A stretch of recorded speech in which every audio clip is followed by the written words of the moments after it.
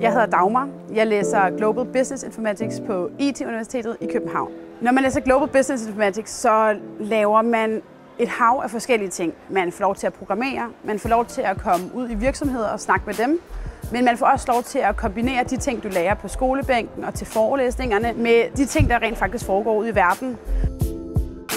På mit andet semester, der var jeg og min studiegruppe ude i en kæmpestor verdensomspændende firma, og øh, der fik vi lov til at holde øje og interviewe. Vi fik lov til at være med rundt på arbejdsdag derude. Og da vi så kom tilbage med alt vores øh, indsamlede data, så fandt vi faktisk ud af, at der var nogle arbejdsprocesser, som vi allerede på andet semester kunne gå ind og øh, forbedre. Og da vi så kom tilbage de der tre måneder efter, var det faktisk lige præcis det, der var sket. De havde taget de her ting, og de havde gjort det på vores måde. Jeg søgte ind på Global Business Informatics, fordi at jeg synes, at den røde tråd, som var mellem mennesker og IT-teknologi, det var øh, helt vildt spændende. Og det at kunne få lov til at bruge de to ting i et mere sådan globalt og nationalt plan, det synes jeg var helt vildt tiltalende. Så havde jeg hørt, at der var ret meget øh, gruppearbejde herude. Jeg havde hørt, at der var et ret godt studiemiljø, og øh, det er jeg blevet bekræftet 100% i.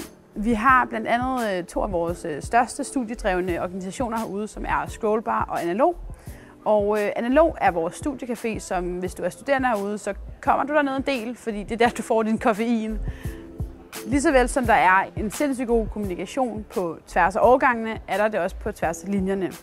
Så hvis jeg har et spørgsmål til en kode, kan jeg sagtens henvende mig til en softwareudvikler, eller har jeg et spørgsmål til noget brugerplatform, så kan jeg henvende mig til en DDIT'er.